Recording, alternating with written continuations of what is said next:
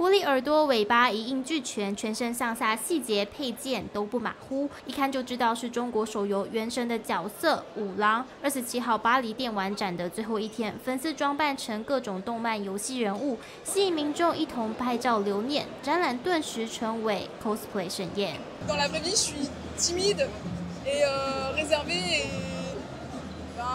pas du tout comme ça et ça aide vraiment à se libérer et moi choisir des personnages qui sont à l'opposé exact de ce que je suis. Cosplay 让粉丝解放自我，有机会成为和自己本性相反的人物，释放平时工作压力。也有人是误打误撞开启 cosplay 生涯。Moi j'ai nous on a commencé avec justement Halloween au départ. On avait bien ce costume Halloween. On a fait plusieurs années de suite des costumes Halloween et tout. Au début on les achetait. Après on s'est mis à les faire. Et en fait, après, on est passé carrément cosplay en disant en fait, c'est vachement plus sympa de pouvoir faire un peu plus souvent parce que Halloween, c'est une fois par an. 源自日本的 cosplay 风潮在法国越来越流行，甚至从2016年开始举办起法国 cosplay 杯竞赛。Parce qu'à l'époque où j'ai commencé, il fallait pas trop le dire. Euh, moi, je sais qu'à l'école, je le disais pas trop parce que c'était vite jugé.